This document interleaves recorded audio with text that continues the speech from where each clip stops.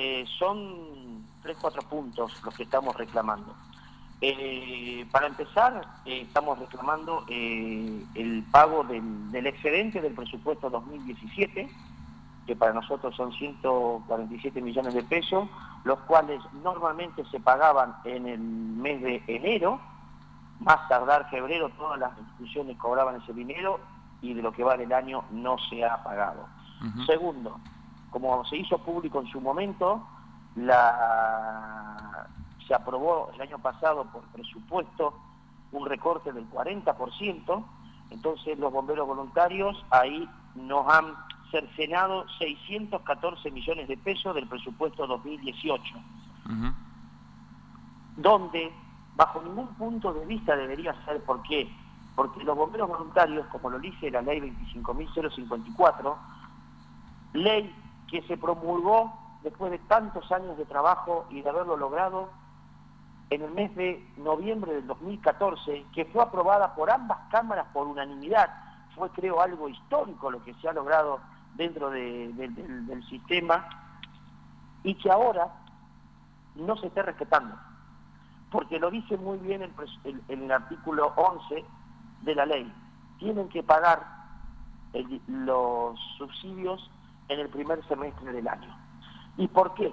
Porque este dinero no viene del presupuesto de la nación. Este es un dinero que viene de las pólizas de seguros, de los cuales aportan las empresas de seguros el 5 por mil y lo depositan en, la, en las cuentas escriturales del ministerio.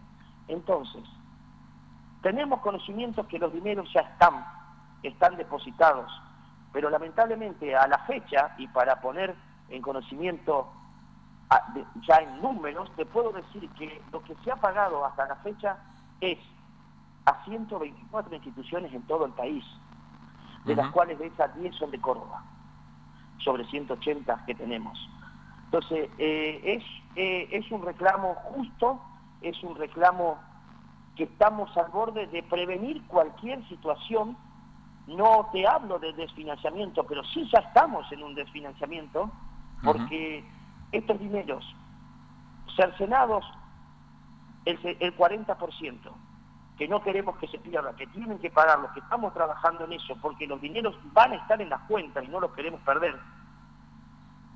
También reclamamos lo mal hecho con la certificación del 40%, que sería un millón de pesos que deberíamos recibir todas las instituciones, no lo estamos recibiendo en tiempo y forma. Todos sabemos que los bomberos voluntarios eh, tenemos capacitación, tenemos que invertir en la seguridad del bombero, tenemos que funcionar y para muchas instituciones un millón de pesos es el pulmón de vida de estas instituciones. Para muchas otras instituciones es una gran ayuda. Claro. Porque ese eh, dinero se reparte por partes iguales a todas las instituciones del país. O sea, y hoy lo que estamos reclamando es esto. Eh, para entenderlo bien, entonces, hay por un lado un recorte del gobierno nacional en un subsidio que le da a bomberos y por otro lado está el dinero de las aseguradoras que no está entregando en tiempo y forma al Estado. Son dos cosas, son dos cosas distintas. un 40%, que ese 40% es estimativamente 950 millones de pesos, que es lo que pertenece a la resolución 2018 aprobada allá en el mes de diciembre. ¿Eso fue por o sea, eso se votó en el Congreso también, la, el recorte? Eso fue el año pasado, diciembre, cuando se aprobó presupuestos. Ah, o sea, cuando se votó el presupuesto ya se le daba... Claro, ah. exactamente. Cuando en realidad lo que estamos reclamando de nosotros no son 950 millones, que si vamos al caso es menos que el subsidio anterior. Estamos reclamando 1.600 millones de pesos, que es lo que sabemos que es el dinero que va a entrar de las, de las compañías de seguros. Ah, o sea... Por medio de la superintendencia. El, Estado recortó lo que las, o sea, para pasarlo en limpio, las aseguradoras en cada seguro que, o póliza de seguro que nosotros hacemos, el 1 por, ¿cómo es? El 5 por mil. El, 5 por mil, pero no lo paga el, usuario, el, que tiene la póliza, lo la paga la empresa. Bueno, la empresa paga entonces por póliza al Estado Nacional 5 por mil para que se le entregue a los bomberos. ¿Y el recorte está en ese 5 por mil? ¿O hay plata parte del Estado que le está recortando? Según las estimaciones, no, no, no te olvides que esto es un presupuesto, según las estimaciones del presupuesto que teníamos nosotros, era de 1.600 millones de pesos. Ah. Y ahí nos recortaron el 40%. No nos aprobaron los 1.600 millones de pesos de, que nosotros tenemos seguridad de que los dineros van a entrar. Por eso ah, te vuelvo a repetir. Ahí entendí, ahí entendí mejor. claro, esto no son dineros del presupuesto del Estado, esto no sale de las cuentas del Estado. Esto sale de, de, las compañías de seguro del 5 por mil que aportan regularmente a la, a la cuenta escritural. Claro, es la idea, o sea, no, o sea, ahora lo entiendo mejor y calculo que eso también sirve para la gente.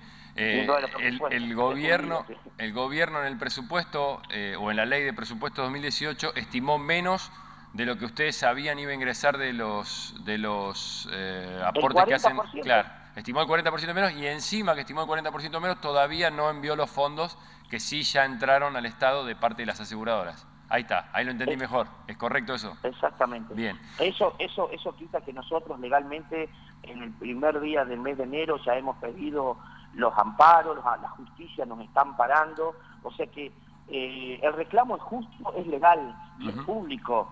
Eh, no te olvides, es dinero privado, pero es un dinero público lo que, lo que, lo que tenemos. Y nosotros somos instituciones no gubernamentales, somos así que eh, esta, esta situación de no mediar una, una buena idea, porque esto tiene que nacer de una buena idea de alguien y que diga, sí, tiene razón, los dineros están, paguémosle a esta gente, esto se va a poner, se va a complicar. Sinceramente se puede llegar a complicar porque va a haber instituciones, así como federaciones y el mismo consejo, que, que entramos, sí, en un desfinanciamiento muy importante, porque no te olvides, para encuadrar un poco la situación, un traje hoy un bombero vestido eh, con resguardos sobreestructurales, que es el clásico bombero que vimos con esos camperones grandes, con esas botas grandes, con ese casco, eso cuesta más de 7 mil dólares.